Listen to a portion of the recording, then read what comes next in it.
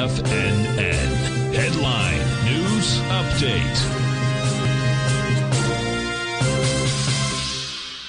Good morning, everyone. Basil Chapman, Tiger Financial News Network, 11 o'clock uh, news update. We're looking at the Dow 201 at 35,429. New recovery high, very good action. 9 over the 14. MACD is good. Stochastics flat at 92%. This is good action. Looking at the S&P, we're looking at the S&P. Not quite so good, but still up or 19, almost 20 at 45.56. Also above the 9, but getting closer to testing the 9 support and the 9s over the 14. MACD is starting to weaken, but still good. Stochastic starting to weaken, but still good at 84%.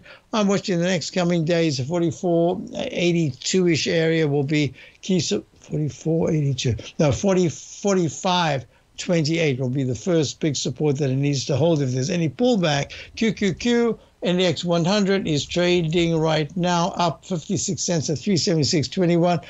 Kind of struggling actually. Well, it's also to do with the rebalancing, etc. But at 376.07, uh, if it starts to trade under 368 at any point in the next week, that says, oops, got a little digestive phase going on, but the weekly chart is still very strong.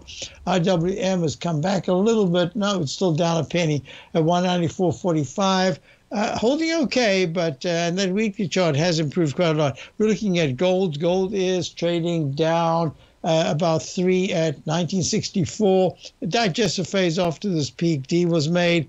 Um, I think that it's not going anywhere right now. Oh, I didn't do this during my show. I meant to do it. The dollar, the DXY, trading at this particular point up. Why does that not go? There it is.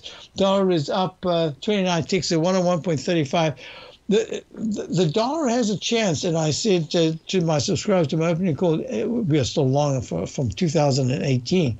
Uh, we're looking at the dollar has a chance to get to the 101.58, 101.62 area. At that point, we'll see if it can continue rallying. And if you're looking at the USD JPY, this is the yen also had a very good move, pulling back a little bit today. If you're looking at the EUR USD, which is a euro dollar currency pair, sharp move to the downside. And that's just suggesting that maybe we're going to see a little bit of weakness sometime this week in the general stock market bonds.